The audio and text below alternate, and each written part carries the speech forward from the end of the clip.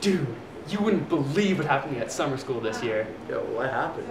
It was the hottest summer ever, and there was this asshole teacher who didn't care about any of us, who had a fan on his gross feet at all times.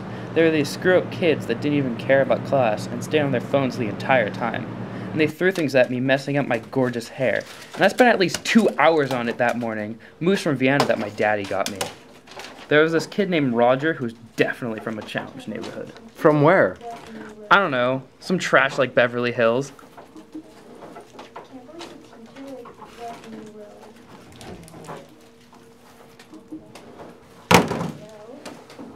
Excuse me. Uh, I'd prefer if you don't hit me, please. Oh, wait till my daddy hears about you. Did you just laugh at me? Yeah. What are you gonna do about it?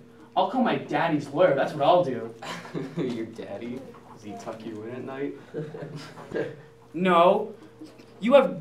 You look like a rat. You look like vermin. You have dumb ears. Haha. Did you just make fun of my ears? yeah, I did. Nobody makes fun of my ears. Get it! Not the hair! Get back here, pretty boy!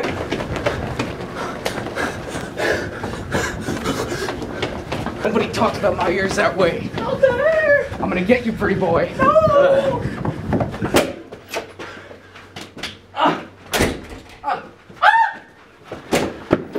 Went that way. Yeah, after Get they said that, I beat the crap out of those thugs. They're practically crying for me to stop.